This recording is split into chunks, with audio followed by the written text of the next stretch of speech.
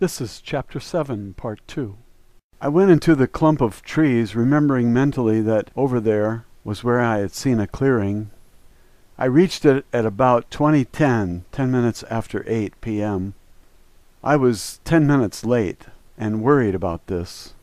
I still had the sphere in my hands, and I looked around me, but didn't see anything unusual. I looked up and saw only branches and leaves. Then I heard something like a distant boat motor, which was lost in the distance. I waited in the woods as the minutes passed, terribly slowly. I looked at my watch, and it was now 2015. I thought, Dear God, what is going to happen? Protect me in any case. I began to feel fear. It gave me a sincere fright. There I was, representing all the people who were praying for me and thinking of backing out. I decided I would not give up. At 2025, I began to hear a tremendous noise. I was in the woods and could not tell where it was coming from. Suddenly, the whole area was illuminated brilliantly. Two huge craft approached and passed directly over me. They came streaming water as if they had come from the bottom of the lake. Water cascaded from the sides like from a submarine when it surfaces. I waited breathless as I watched. They flew over me and the whole area warmed up from the heat. They must have put out a tremendous amount of energy. These craft were flattened disk forms, and underneath I could see something that rotated. And below that, I saw three large white round parts that turned slowly, and a colored light came out. These giant objects, such tremendous spectacle, gave me new cause for alarm. And then it fell silent. I could only hear a very low sound dying down. They hung there in the sky, about a hundred meters between the two, as best I could calculate. These objects were shaped like huge soup plates, joined at the rims. They were about forty-five meters in diameter, and about twelve meters from top to bottom. I could see the cupola on top very clearly. The light slowly dimmed down, leaving only a small bright light source illuminated. It lighted only the area directly under the craft. Then one of the ships began to approach. The other remained quietly in place. It gave me a new fright to see this tremendous monster so close, and then it stopped, suspended above the small stream there, and two lateral beams of light came on. These new beams shined down, and I saw two beings descending in them as in an elevator. wow a beam of light elevator. In their descent, they disappeared behind the trees from my position, and I couldn't see them land. Then I heard their steps as they approached. At this moment, all of the lights on the spacecraft went out, and they remained completely silent. After seeing the tremendous luminosity bright as day, I couldn't see anything when the light went out. And then I heard the steps of the beings, and then I saw them at ten meters away. They approached, separated, one from the other. They wore helmets and suits that seemed very fitted, and I could see them clearly as they neared me. Then I heard the first telepathic communication. Brother, we are here, do not fear. We are your friends. They tried to coordinate my ideas and thought. Yes, why not? I am not afraid. He peed his pants, that's all. Then I heard the voice say, I am your friend, Enrique. Do not be afraid. I shook my head. I'm n- n- n- not afraid. I could see that they were tall, more than a meter seventy in stature. That's not very tall. when they came up to within two meters of me, he said, I am your friend. Do not be afraid. I said, Yes. And the other said, if you are not ready, we can suspend this until another day. If you are not afraid, we can continue this contact and we may ascend aboard. Oh boy. I said I was ready and I took a step forward so that they could see that I had lost my fear. they noticed that I was a little wary and one of them took me by the hand and the other by my shoulder and said, Walk with us up to the light. We went a few meters forward, and one of them said, Straight ahead, You feel a little worry in your head and in your body, but nothing is going to happen to you. The other said, Brother Enrique, we guarantee it. We do not want to cause you any harm. And then they ate him. Moreover, if you are still afraid, you may return, and we will prepare this for another day. I could not see their faces for the helmets. I asked if the helmets had visors, and a form of visor raised a little in front of one, showing the nose and mouth, but partly covering the mouth, which had a rectangular shape. I could not see the Mameluco spacesuit well because of the dark, and I could not see up to now exactly what color they were. Then they stopped me and said they could sense a little worry. He was terrified. At that moment, the spacecraft came forward and flashed a ray of light. I felt tremendous thrills and some twitching in all the skin of my head, like needles pricking me. I stood erect and began to ascend. When I saw that I was leaving the trees below, I thought, what if I should fall? I continued to ascend like in an elevator. I was surrounded by a yellowish light. It gave me the impression of being solid. I tried to touch it with my hands, and it felt solid like crystal. It must have been only energy because I did not see crystal. I didn't see anything. But when I touched the light, it felt solid. I felt a thump, and then a port began to open. And there it was, fully open, and I was inside, and it closed. A moment later, the other two entered, removed their helmet, and smiled. They had taken their helmets off so I could see their faces. They asked me for the sphere, which I gave them. And then they said, Wait here. Take off your clothes. And I took everything off. They opened an automatic port and we entered. Then they opened a side port like a window and looked at me smiling. I don't like to get naked in front of aliens. I heard a voice say, Don't be afraid, we're going to enter a little smoke, but this is necessary. Do not be afraid.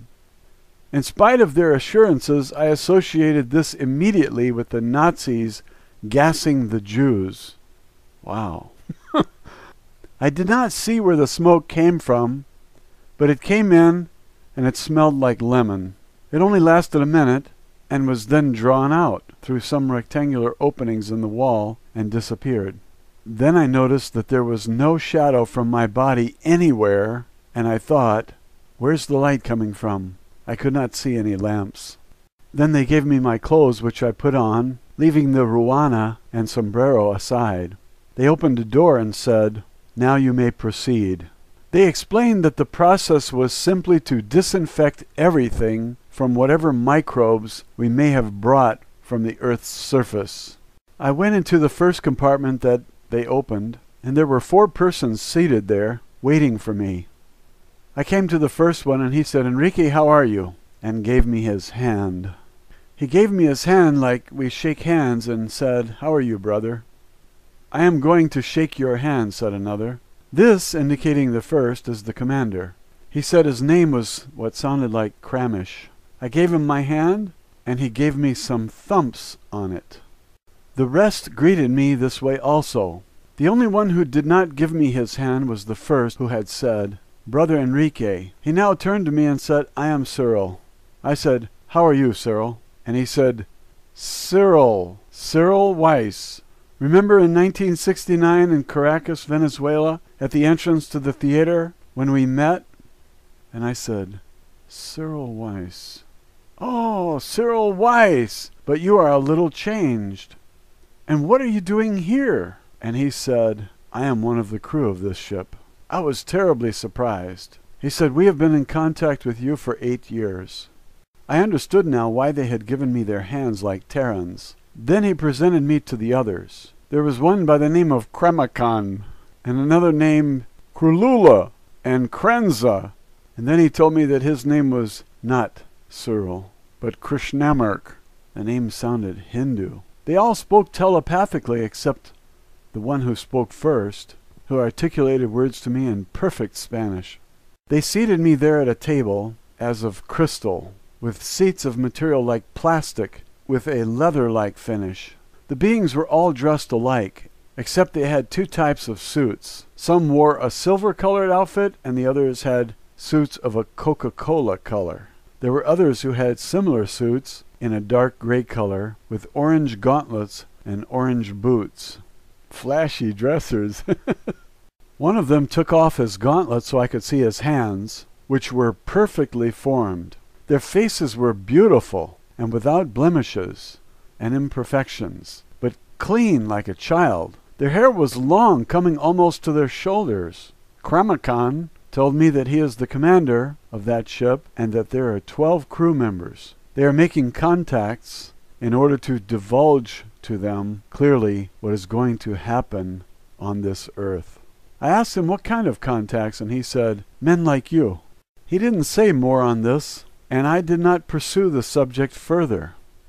I then asked him if they had women aboard, and he said, Yes, we have women with us, but at the moment we will not see them. Then I remembered that he could read my thoughts before I asked the question, and knew I was going to ask it before I even formed the words. We began with the first questions. I had brought many questions given to me by the study group.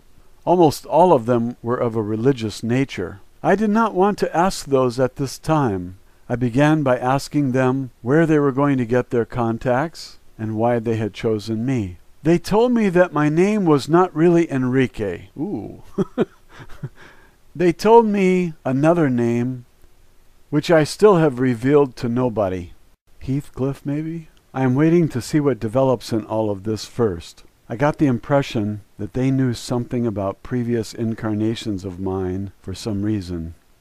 I asked then where they came from, and they replied, the Pleiades. I asked them, Where are the Pleiades? And they said, It is what you call the Seven Sisters. And then I remembered that it is a small constellation having seven bright stars. I asked them how far it was from here, and they said, You say that it is more than 328 light years from here, which is not true. It's much farther. so I asked them, How did you make the trip? Perhaps I was asking them infantile questions, but for me they were important. How did you make such a long trip? They answered, Do you know anything about relativity? They told me that Albert Einstein's theory was not complete, that we are going to have to make three corrections, that the velocity of light is not, in fact, 300,000 kilometers per second as we believe, but much more. And they went on to explain details that I could not follow. Well, is it written down anywhere? I'd like to read it. Maybe I can follow it. Then they told me there is another measure of time unknown to us, in which we cannot remain long in physical bodies. I did not pursue this further after that. They took me to visit various rooms. I saw a room for meditation. They said it was where they rest and meditate. It was beautifully appointed, with tremendously exquisite brocades. Another room was a laboratory, where there were flasks of a green substance. I asked about this, and they said it was chlorophyll, which they had extracted from our trees, a substance vital to their own alimentary system so they digest food with chlorophyll. They use it in preparing various food items. They had fruits also. They told me they ate much fruit from South America. They particularly liked the duraznos, peaches, and the melocotones, apricots. And they carried much fruit, corn, wheat, rice, and other vegetable substances. To compensate for what they had taken, they used an ionizing radiant beam that accelerated the life process of the plants and caused them to replace their fruit in a few hours. Wow. we got to get one of those. I wonder if the cattle mutilators were as considerate. I didn't quite understand this that they could project a radiation that could accelerate the growth and maturity of the plants from which they had taken produce and cause it to be replaced in ours. This was incredible. Tell me about it. I began to understand another thing. They knew about biological engineering and could control the genetic codes by means of a process which they called consubstantiation. By this process, they could continue the life forces of a cell forever. Now, we have to get one of those. They told me they were there on a mission. They belonged to a brotherhood of civilizations with others from which they had received specific orders from our world. They pointed out that we have always been guided indirectly by certain great personalities who have passed through our civilizations throughout history. Those so called masters, some approaching divinity, have always had contact with extraterrestrials. I had a feeling that these beings had been sent on a mission pertaining to the evolution of our planet. Then Kremakan, the commander, permitted me to visit the control room where I saw great electronic maps on the wall. I saw the great panorama around us through the green glass cupola. There were three men seated, and as we entered, they came over and greeted me, and then returned to the control panels of the craft. The control room was the third level, under the dome on top of this craft. When I saw the maps, he took me to them and explained that they were cosmic maps. I could not understand them. I saw small lights. They moved a control, and I saw small lights like neon in various colors beginning to take form on the map panel. There were points of light and lines of light, and some of the lines were indefinite. Some of the greater points of light represented galaxies and nebulosities. They said that many thousands of inhabited planets are in contact with each other and exchange cultural, technological, and scientific information. We have to get in on that. Some are tremendously advanced in spiritual and scientific evolution.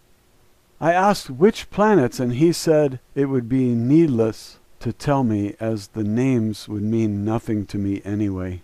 He told me that where the lines between the lights were brighter, there was regular commerce, these dimmer ones were under exploration. The indefinite ones were lesser developed. They were on the map, but they lacked thousands of years of development before they were ready for contact. Now I'm curious, where do we fit in? When are we going to join in the fun? They do have a sense of time because they talked of millions of years, but I had difficulty coordinating this with their discussion of laws of relativity, where time changes. Also, they seem to be aware of the future time because they told me we are going to experience a third world war and that they know exactly when it will start. I wish we could avert that, but we have crazy leaders. They desire that all men unite in one thought to seek real peace for the whole planet without distinction of race, creed, or color, that in the next few years we are going to make the greatest discovery in the history of the planet the discovery of God, the final truth. But how is this possible, I said, if we already believe in God? Their answer was, You have never believed in God in a normal form. And I think I know what they meant. They called it a great unknowable, preferring to give the force no name. They told me that we have to distinguish between the inner and the outer forces. And I began to understand that we have searched for God outside when in reality it is within, and that the kingdom of God is in every one of us. We must understand this first before we will live in peace and understanding with all men. They told me that they were, in a way, emissaries of beings superior to them, and that they had been the destroyers of Sodom and Gomorrah. This gave me a great sensation. I said, How can you be judges? How can you destroy a nation with thousands of people, including many innocents? They said, You cannot comprehend this now. We will try to explain. We were emissaries of forces superior to us that govern the cosmos. And when they give us an order, we carry it out. And in the case of Sodom and Gomorrah, it was exactly that. They sent emissaries, they warned the people, and they refused to understand and would not believe that which was happening over their heads. The hour arrived, and it had to be destroyed. I thought, how could they be the judges? And I said that I could not understand, that I would not go into detail, but that I also could not understand. For me, it was not important to know at that time, because there were other things. They told me the time of the beginning of the Third World War, and told me that they had been the inspirers and the consultants on the building of the Great Pyramids, where they have placed many years of the earth's history. In the future, we are going to discover two cities in South America where there are the records of the origin of the earth's races and how they came here, how the history was written, and why it was done. Would that be Brazil?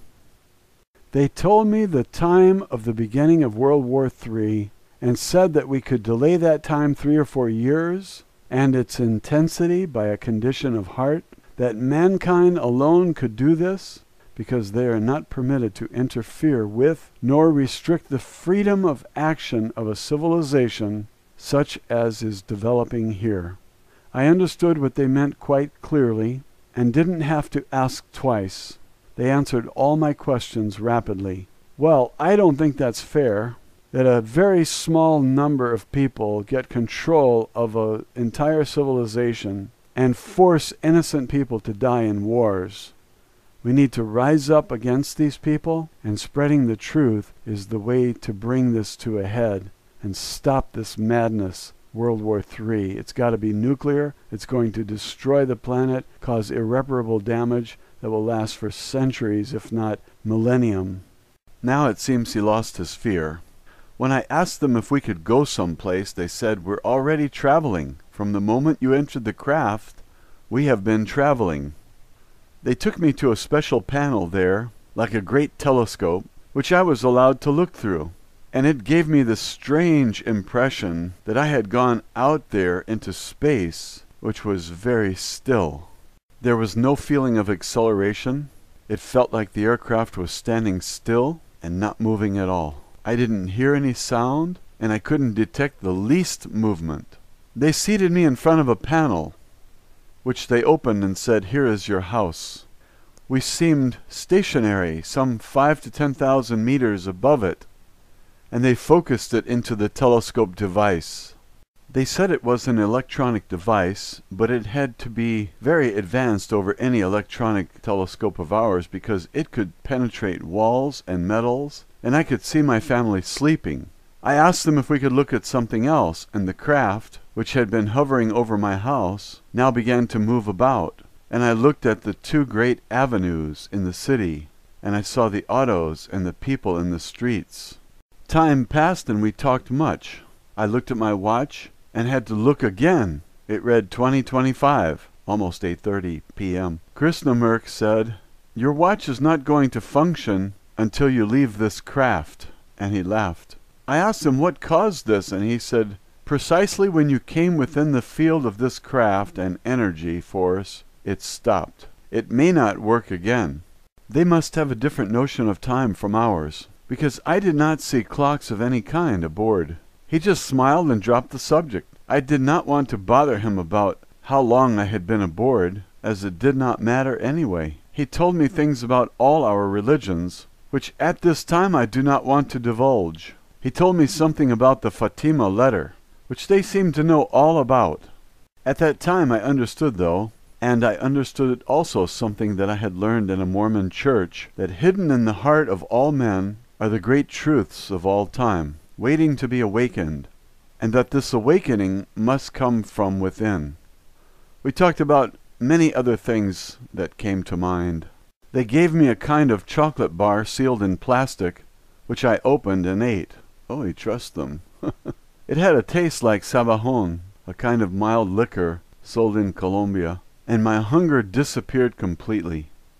And then he said, We have something that we want to give you that is very important. My body began to warm all over. You're going to eat something very interesting, and which you will like very much. They brought me something like a large white corn taco and told me to eat it. I broke it and put some in my mouth. In a moment I felt a tremendous sensation and warm feeling. I thought at that moment that they were drugging me. I don't understand why the words Cyril and Krishnamurk are together. But uh, Krishnamurk said, Do you know what they call that? The Jews were fed on that for 40 years in the desert. The manna of the scriptures, I said. No more, no less, was the reply. You are eating manna. and you will not get hungry for 24 hours. It gives you tremendous energy. It is prepared for us. Then ideas began to rush into my head so fast I could not coordinate them. I thought of Elias and of Moses, and then I returned to the present. I felt like I was going crazy. They laughed and simply observed. We were one of those who helped the Jews. Our great ship was always camouflaged. They could be made invisible by a simple change of vibrational energy right over the heads of the people, and they could not see them. I couldn't understand this then, and I can't today. I have a little more knowledge about it now, but I still do not completely understand. The public has asked many questions, and I have tried to answer, but I must confess my ignorance concerning a civilization so advanced as this, and they were trying to simplify everything as much as possible so that I could understand it better. After eating the substance, it made me sleepy, and they let me sleep about three hours. Then they came and awakened me. I was lying on a very comfortable bed, and where I had been lying I left the imprint of my body. Pardon me, Enrique, you have awakened because we gave you a suggestion to awaken at this point. You are going to receive your last information, and it is time we left you in the place where we met you, a voice said. Khan had gone someplace and did not return. We circled the eastern plains, and they showed me a site that was illuminated like day. It was the site where we would next meet. Look well and observe the highway. Here we will meet again on the 18th of this month at eight o'clock in the evening. They lowered the ship and passed slowly so that I could see the place well. I saw that the highway was long and ran through the mountains. I tried to remember all I could of the place, thinking I may have to come here by horse. They took me back and left me in the exact place where they had picked me up. They bid me good-bye with a form of embrace. With Cyril Weiss I always talked in Spanish. The others bid me good-bye with strokes on my shoulder. We will see you, Cyril said, and I descended to the ground. They let me off about five o'clock in the morning. I slept a little and awakened and saw that my watch was running and indicated 11:15. I left the place running as fast as I could. I wanted to tell the whole world what had happened. The first person I met was a farmer leading a burro. And I said, Pardon me, sir, what time is it? He replied, Almost eight. Eight in the morning, sir. I calculated that I had slept about three hours. When I cut the bus at the road, I wanted to tell everybody. I wanted to tell the whole world what I had just lived. And I wanted to embrace all men. I was happy. When I returned to the house I had left the night before, I found some sixty people waiting for me. I met with the man who had made the telepathic contacts and began to give him the first information about the experience. I told him about the war and its timing, and the great destruction, and the great religious power around the earth, and the years that remained of normal life. Nobody believed me, of course. They thought I was attacking religion and society for some reason of my own. I did not say much more then, nor ever in public, because I could see that it would cause confusion and possibly even harm. Could you just tell us the date of the war? I could only hope that some day all men would arrive at an understanding of the things I had just been shown. That is all that I can say about that first contact now.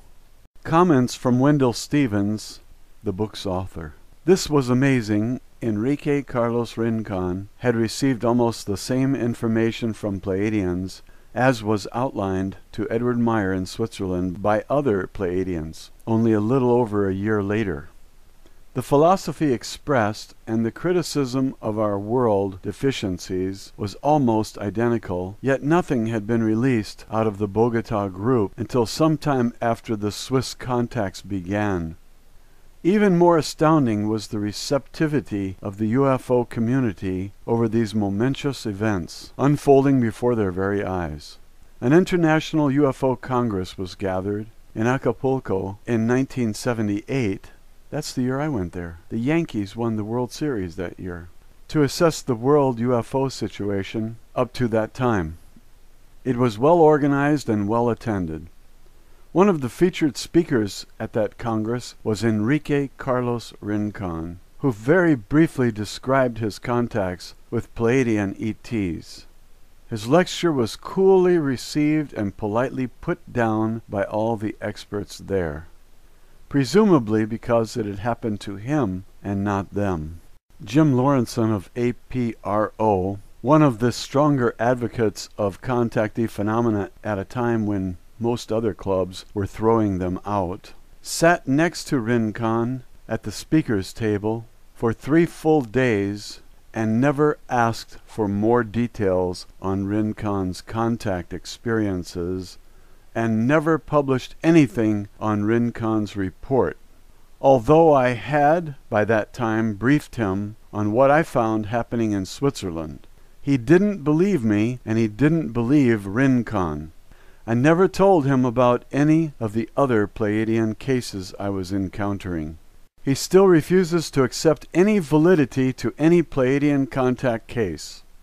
Open minded. It was after that that I discovered the Akaya contacts going on in Peru and learned that Pleiadian ETs were discussing almost the same spiritual philosophies and scenario of events concerning our world, and that Witness was unaware of the other two, and they of him and his contacts. I knew nothing then of the Pleiadian contacts going on with Pedro Romaniuk in Argentina, or others with Deveris in Arkansas, here in the USA, and again, the philosophies and scenario of events was very similar. They all came under severe criticism for what they were revealing, and so they all began to hold back and release less and less to the world. That is the situation we are in today. Amazing indeed. The second meeting. The second meeting took place on the 18th of the same month as predicted, and I was gone 26 hours and the knowledge that I gained was tremendous and very disturbing, and would completely fill a book by itself. There is much information that I cannot tell anyone, not even my friends, in this experience. I had gone to the place at the appointed time.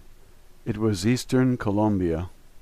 The circumstances of this meeting were a little different. I arrived fifteen minutes early, by horse, with a guide whom I paid a 120 pesos. He left me at the designated place, but was disturbed leaving me in the jungle alone at night. They will pick me up here in a jeep, I said. Ah, you're going to the ranch of the Fulanos de Tal, he said, and I answered, Precisely, that is where I'm going. no, I'm going on a spaceship with some aliens. Really? De veras? But at these hours it is very dangerous here. There are tigers about. Do not worry about me, I said. Go in peace. I paid him, and he departed on his horse and left me there. And a tiger ate me. The meeting did not take place at eight o'clock in the evening as indicated, but more like three o'clock in the morning. I walked fifty meters in this direction and fifty meters in that, but I did not leave the site. I kept looking in the clear and cloudless sky and waited until three o'clock when suddenly thirteen spacecraft of Venus types arrived. Only one small descended and landed on three shoes. Krishnamurk, disembarking, saying, Brother, here. He told me to wait a minute, and then he said, Now come on, enter. And I did as invited. Inside, there were two small beings, and they were not like those of the Pleiades. Meanwhile, back on the ground, a search party was dispatched to find the guy who was eaten by the tiger. They must know different races. He told me that those did not come from the Pleiades, but from Mercury, and they took me in that small craft. The small craft sat on three legs and had a diameter of four to five meters, and was no more than two meters twenty high. It had two levels inside. We now entered through a cabin that had a metal stair, like in submarines, that went to the upper level, which was the control room. I did not see much of the ship, as they transported us to a mother ship almost immediately. This card is really incredible. I did not want to ask why such a long wait, though I was thinking that I could have been attacked by a snake or a tiger. If I had been bitten by one of the poisonous snakes, where could I go in the five minutes I would have to do something? The same with the tiger. Then I remembered that I had not been bitten by even a mosquito.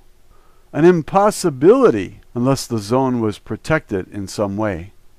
Then I thought that the reason for the long delay may have been a test of my patience. They did not tell me this, but I had the feeling that they had tested me to see how long my patience would last. I was happy that I had passed their test. They opened the port and lowered the ladder, and we left the ship. They explained that the two strange craft, very different from the others, with a bow structure something like a great whale, were relieving the smog and air pollution of Bogota. Nice. I saw another with a similar bow structure, and they said a ship like that was the whale that swallowed Jonah. Hmm. These points of scripture kept coming up, and I thought, these extraterrestrials have certainly had contact with many of our prophets. This may lead us to a new concept of cosmic theology, as I told the Congress of Witchcraft, where mankind may become truly united with the superior entities, which we shall proudly call brothers when we ascend to that understanding, when we make contact with these intelligences in mass. They did not let me off in the same place as they had picked me up this time. They left me much closer and near the highway, I asked them why they did not make contact with more people and with governments, and they said I would have an experience that would show me one reason why they were not doing this. It was getting daylight and must have been around 5:30 in the morning when they brought me in the small craft with the three crew members to let me off. In the farms of the plains many people get up early to feed their animals and milk cows. The small craft made a circle over some people below. There were two men milking cows in a small shed behind a house. They saw the bright light and jumped up. The cow kicked one and also knocked over the pail of milk, and both men ran like they had seen the devil. We shot up rapidly behind some clouds where they couldn't see us. Then the farmer came out, and the two men pointed up, moving their arms excitedly. A woman came out, drying her hands, and a child of about eight years old. And they all looked up, but couldn't see anything. We were still in the cloud. Observe their reaction, said one. Yes, no need to explain. We have caused a panic. But these people are farmers, I said. Now we will try an experiment with slightly different people, the ET said. As we flew to the highway, where we saw a truckload of cattle approaching, we let it pass on, Behind it was a jeep, which we also let pass. Then came a pickup and an automobile, very close together, a hundred to a hundred and twenty meters apart. We let them pass. There comes a car alone. There is no other within kilometers, the ET said. We took a position above and held so that I could see. I could see through an electronic apparatus, which they had, that inside the auto were two men with suit coats and soft ties. One was driving while the other sat at his side talking. In the rear seat, another man had his collar turned up and was sleeping. The gentlemen seemed to be cultured, middle class people from their dress and the appearance of their car. We descended in front and hovered alongside the road. They were so surprised to see us so unexpectedly that the two men in the front opened their doors to exit running. This doesn't prove anything except that when people are isolated that they panic. That's true. Especially if you see something in the sky and you feel like you're the only one that sees it, you feel a little bit afraid. But if you go on national television and you speak and, and everyone becomes aware that aliens exist and now it's universally accepted, then all that scare is gone. And aliens ought to know that. This is baloney. The other, knowing nothing of what was taking place, fell off the seat when the driver hit the brakes. He stuck his head out the window and yelled something because I saw his mouth open. When he saw our craft parked above and to the side, he got out, running, and tore his coat trying to scramble through a barbed wire fence. That is the reaction of everyone, said my companion. Do you think that answers the question? Brothers, I said, though I know that I am with you, and this is the second time we have met, and knowing that you are living beings much advanced in evolution, there are many things which I still do not understand. I hope that in time I may be able to do so. I feel very honored and considerably humbled. They continued giving me information up to the last experience in Peru. New meeting. That took place on the 25th of July, 1974, when Guadalupe and Montserrat, professed spacemen, met me in Bogota. It was about five in the morning, and I spent 45 minutes in a spacecraft talking to them. We remained on the ground in the spacecraft and did not fly. This craft rested on three feet and was one of the Adamski type, but much smaller. It was not very big. This craft could not have been more than nine meters in diameter and no more than two meters eighty in height. Those spacemen that I saw then were no more than one and a half meters tall. All of them were alike, light colored, and looked much like those of the Pleiades, but smaller. I have seen others from Orion, Orton, Yamura, Yanaka, Yaraka, and other places. I never heard of any of them except Orion. Some of them also had no women with them. That's because they like Earth chicks. In the second encounter on the 18th of November, I saw two women, and very beautiful they were for a few minutes. They were only beautiful for a few minutes. oh gosh, this writer is so funny. Ah. In the second encounter of the 18th of November, I saw two women for a few minutes. They were very beautiful. And I saw at that time on the mother craft a very strange being. I could not tell whether it was human or an automation, but they permitted me to see it. When I was walking with them in the ship, an automatic port opened, and one of them passed by. It had a large head like a basketball, and a transparent case. I thought I could see the brains, and the veins, and the organs, and the eyes were large and moved like those of an iguana, and could look on all sides. It walked like it was a robot, with a thin gray uniform and boots and gauntlets of a dark blue, and some colored buttons at the waist, which was thin like a woman. Not all women. which, with their broad shoulders, gave them a triangular aspect. The door opened, there was a light, and it entered. We all turned to look as I continued talking to them. I did not ask about it. For the first time I saw a kind of symbol on its back, at the shoulder. Up to this time I had not seen any kind of mark or symbol. This was the first I had seen, and it was very strange. I had tried to draw the symbol since then, but I have forgotten one of the upper parts. It was a kind of an H, but it had something else above it and I can't remember what it was. I had the feeling that they had let me see this creature to know that such did exist.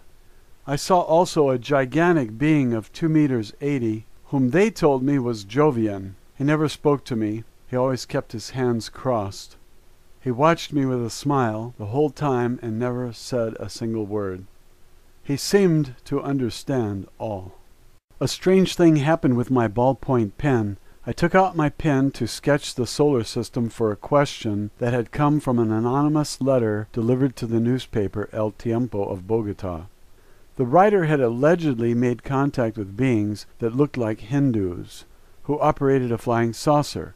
They told him that they came from a planet similar to Earth, that it was Earth's twin, and occupied the same orbit but on the opposite side of the sun, for which we never saw it. I wanted to ask if there was such a possibility, and I took out my pen and paper to sketch the orbit and see if I could make them understand. When I produced the pen, they all displayed great curiosity, especially the Jovian. Krishnamurk told me to let him see it. He took it apart and examined it and then gave it back. I asked him why the pen was of such interest, and Krishnamurk said, It is because we have one very similar but you must see it. And they produced one fastened to a line to the table so nobody steals it. Write something. Here are papers. I took the pages, which were almost transparent, and paused over them. Write what you like. Make a sketch. Then this happened. They asked me if I could paint the house where I lived as a child, if I could remember it, and I said yes. But paint it. I can't even draw it, I said. Make anything. I said, I painted a butterfly when I was a little boy in school. And they said, do that then. So I began pressing the point which was finer than ours, but the moment I pressed the button, the pen began to vibrate in my hand. And I heard a small sound and felt a slight vibration, but the most surprising thing came the moment I began drawing the butterfly. It came out in relief and in exact colors. I stared, but how is this possible? And they laughed and explained. Whatever you have in your mind is captured and sketched exactly as you think it, in colors, and in exact scale and size. This apparatus captures exactly the vibration, the color, the size of what you think and produces it accurately. Amazing. Amazing. We have to get some of those. The apparatus receives the vital image and translates it then into a sketch. I was stupefied and then I understood their interest in my pen, which looked similar. After that, on the 24th and 25th of December 1974, they took me to an energy vortices in the Andes. I was in Caracas, attending a conference, when they contacted and arranged a meeting. I boarded the spacecraft between two small villages near Caracas. One is called El Junquito, and the other, where many Germans live, is called Colonia Tovar. Colonia means neighborhood. I don't know what a Junquito is. From there, they took me to the Vortis five minutes. It was in the uplands of Peru at 4,200 meters altitude. Well, that's got to be 13,000 feet. Between Marca Huasi and Machu Picchu. These beings have submarine bases in Lake Titicaca under the seas. I was taken to one of the bases in the Mariana Trench. That's the deepest ocean in the world. You have to be kidding me. I'm writing a science fiction story to be able to detail what is going on in the marine depths. Why science fiction? Nobody's going to believe it.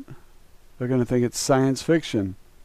By some manner, I'm going to give this information to the world. By science fiction?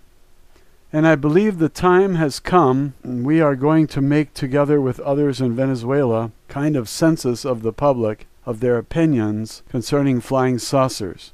Well, more than half now believe in them, so it's time to forget about science fiction, bring this forward as truth, personal testimony, and let's give it to the world directly. If they accept them, we want to know why. If they do not accept them, we also want to know why. This will serve to measure the information that can be released of that which we have. Little by little, we hope to give this information to the world, as much as it can accept, to prepare them for the day when they shall also experience the UFOs, hoping that they will not panic, and that they will be a little bit prepared for what will happen. One may look around and see that we have availed ourselves of little of the vast amount of knowledge and experience we could have enjoyed. I like that pen. Even this little was too much for many, and for most of the UFO clubs. Boy, what a broad minded group they are. Witness the treatment any contactee gets once he decides to reveal even a little of what is happening to him. He would be better off to have said nothing and to avail himself to these experiences in silence, which is exactly what most of them do after their first experience with the public. We may state that these experiences have gone on for years, and the descriptions and the dialogue up to now would fill volumes. The undersea base in the Pacific alone would take a whole volume to describe. There's one reason why we don't know this stuff, and that's leaders. Leaders who lead us astray. Leaders who lead us to failure, not victory. We need to become part of the galactic community. and exchange technology. I want that pen. we have undertaken the task of translating Enrique Castillo Rincon's full report on his contacts from the original Spanish to English for your enlightenment. Our work title for that report is UFO Contact from Shi El Lo, the name which they called their home sun, somewhere in what we call the Pleiades.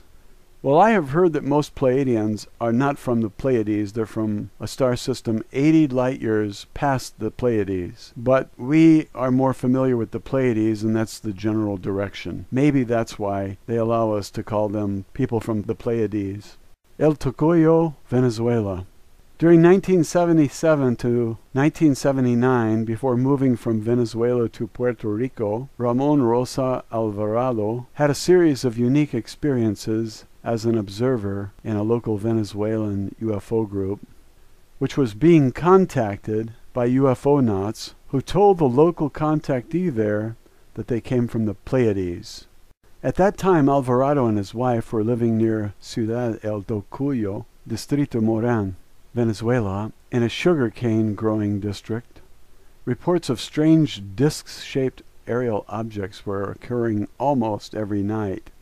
They would be seen approaching from below the crest of a small, sparsely vegetated mountain above the sugar cane field, and would fly about in the sky in all directions in a random fashion. Word had gotten out about the almost nightly visits, and people from all around began coming to the area to witness the phenomenon. You see, people are not afraid, they're coming to see it.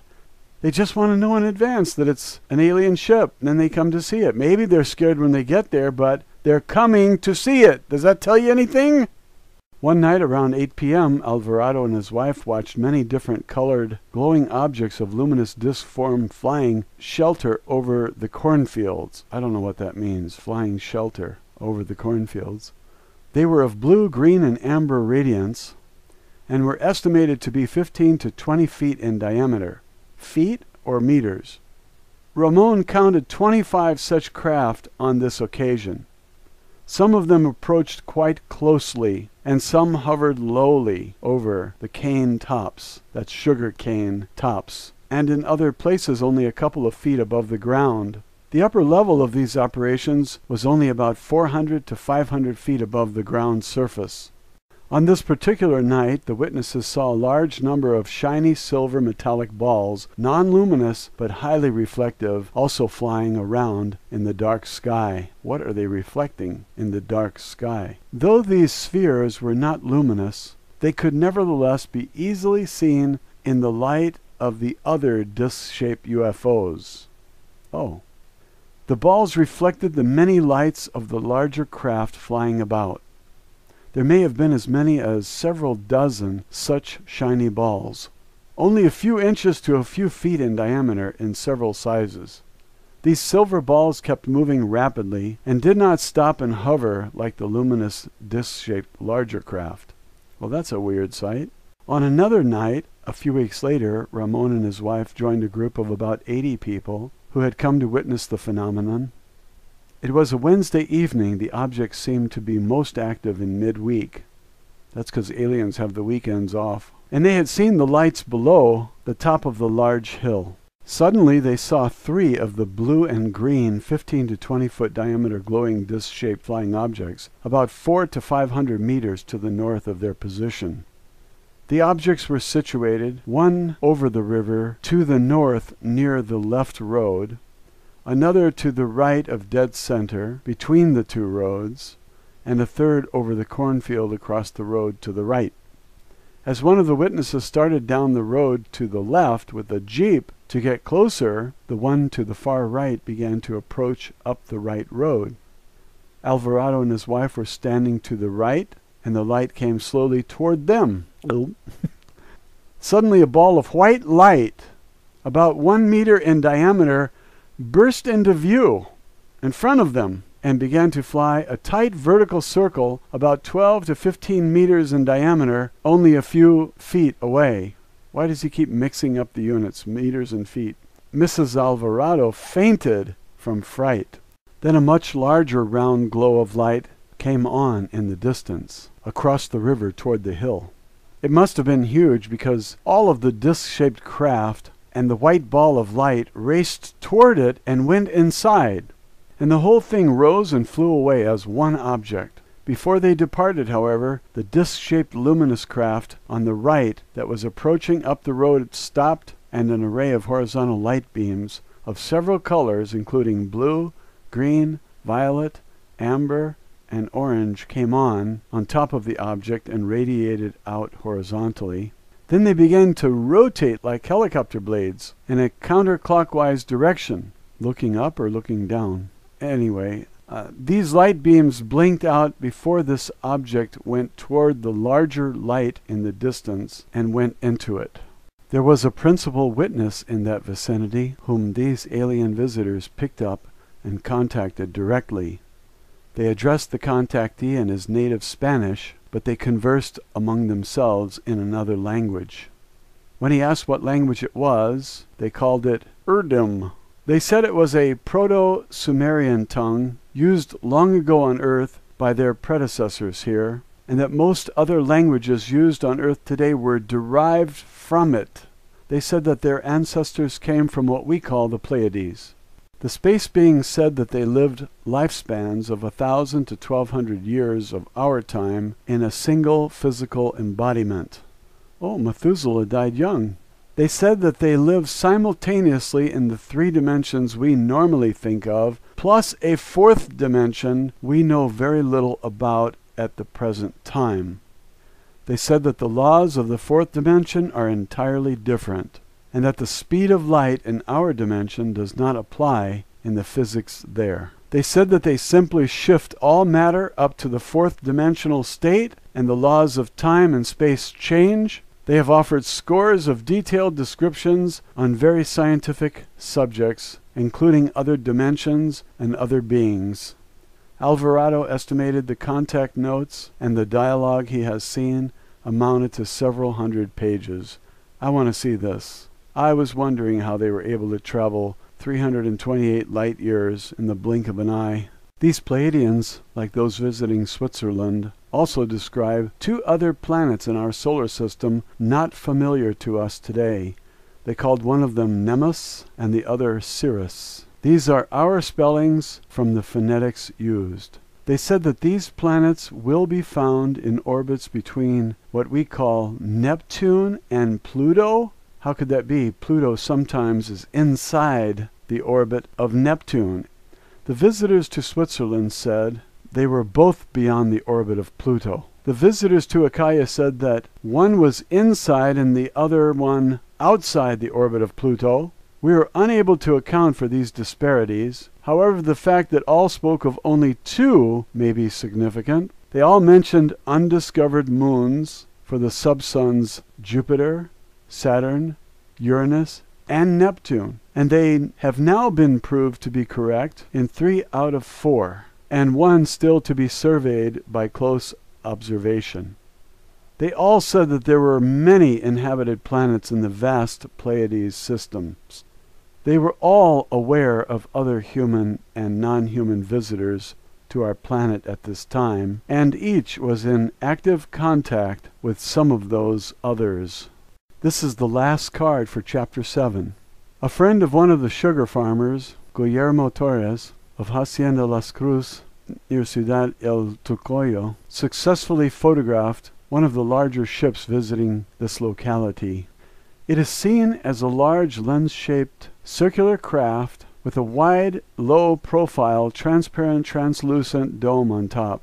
It occasionally radiates light from the rim, and some of this light is seen in the photograph. The skin surface of the craft seems to be matte gray in color and has a brushed metal finish. Two craft were an estimated 400 meters away when the picture was made.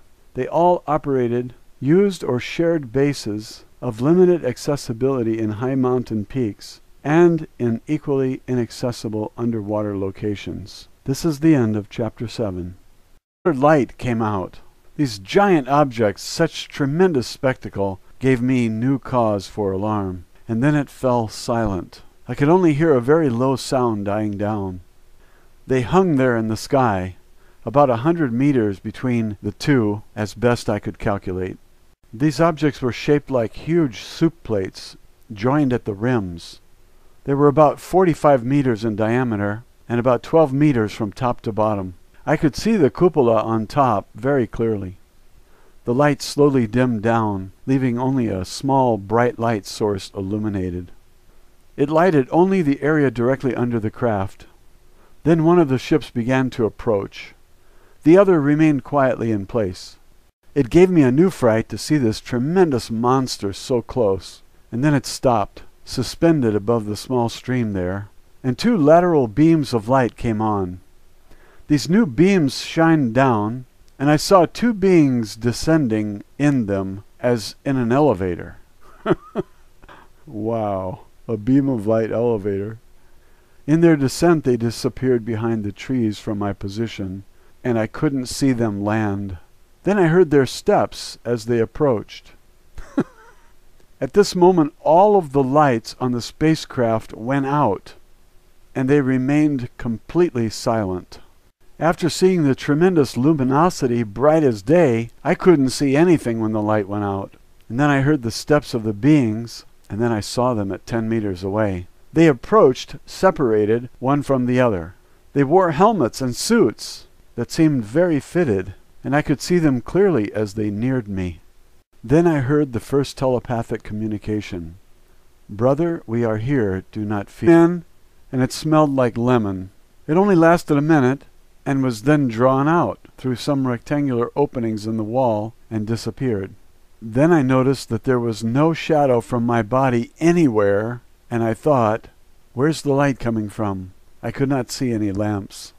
Then they gave me my clothes, which I put on, leaving the ruana and sombrero aside.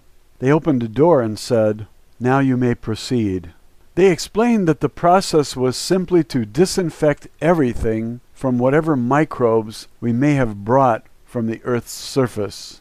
I went into the first compartment that they opened, and there were four persons seated there, waiting for me. I came to the first one, and he said, Enrique, how are you? and gave me his hand.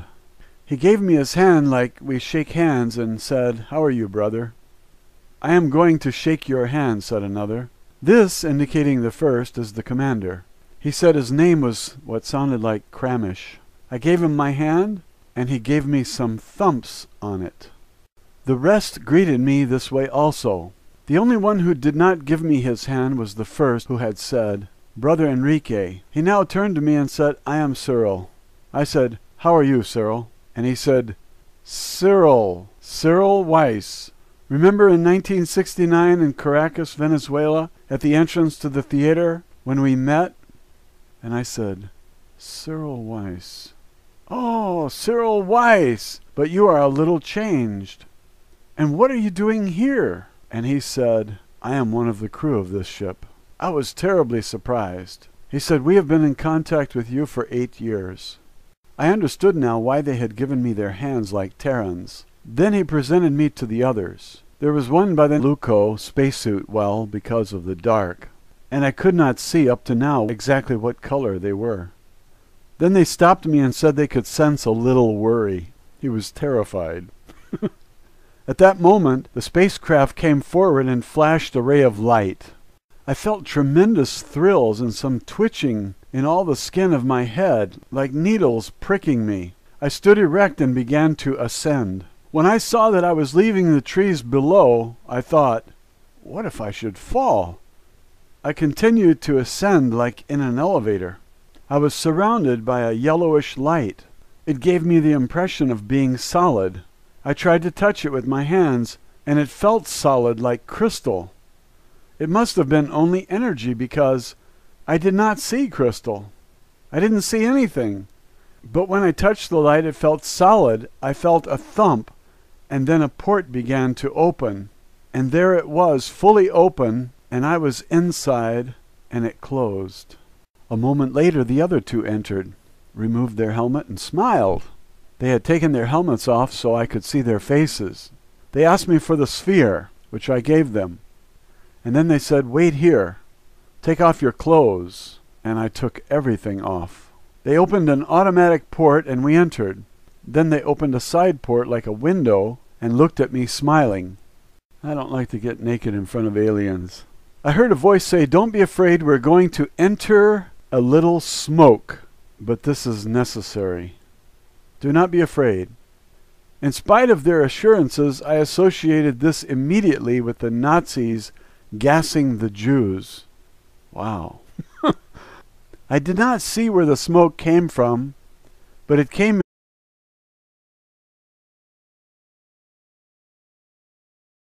This is chapter 7, part 2. I went into the clump of trees, remembering mentally that over there was where I had seen a clearing. I reached it at about 2010, 10 minutes after 8 p.m. I was 10 minutes late and worried about this. I still had the sphere in my hands, and I looked around me but didn't see anything unusual. I looked up and saw only branches and leaves. Then I heard something like a distant boat motor, which was lost in the distance. I waited in the woods as the minutes passed, terribly slowly. I looked at my watch, and it was now 2015. I thought, Dear God, what is going to happen? Protect me in any case. I began to feel fear. It gave me a sincere fright. There I was, representing all the people who were praying for me, and thinking of backing out. I decided I would not give up. At 2025, I began to hear a tremendous noise. I was in the woods and could not tell where it was coming from. Suddenly, the whole area was illuminated brilliantly. Two huge craft approached and passed directly over me. They came streaming water as if they had come from the bottom of the lake. Water cascaded from the sides like from a submarine when it surfaces. I waited breathless as I watched. They flew over me and the whole area warmed up from the heat. They must have put out a tremendous amount of energy. These craft were flattened disk forms, and underneath I could see something that rotated. And below that, I saw three large white round parts that turned slowly and a color here. Ooh. we are your friends. They tried to coordinate my ideas and thought, Yes, why not? I am not afraid. He peed his pants, that's all. Then I heard the voice say, I am your friend, Enrique. Do not be afraid. I shook my head. I'm n- n- n- not afraid. I could see that they were tall, more than a meter seventy in stature. That's not very tall. when they came up to within two meters of me, he said, I am your friend. Do not be afraid. I said, Yes, and the other said, If you are not ready, we can suspend this until another day. If you are not afraid, we can continue this contact and we may ascend aboard. Oh boy. I said I was ready and I took a step forward so that they could see that I had lost my fear. they noticed that I was a little wary and one of them took me by the hand and the other by my shoulder and said, Walk with us up to the light. We went a few meters forward, and one of them said, Straight ahead, you feel a little worry in your head and in your body, but nothing is going to happen to you. The other said, Brother Enrique, we guarantee it. We do not want to cause you any harm. And then they ate him. Moreover, if you are still afraid, you may return, and we will prepare this for another day. I could not see their faces for the helmets. I asked if the helmets had visors, and a form of visor raised a little in front of one, showing the nose and mouth, but partly covering the mouth, which had a rectangular shape. I could not see the mama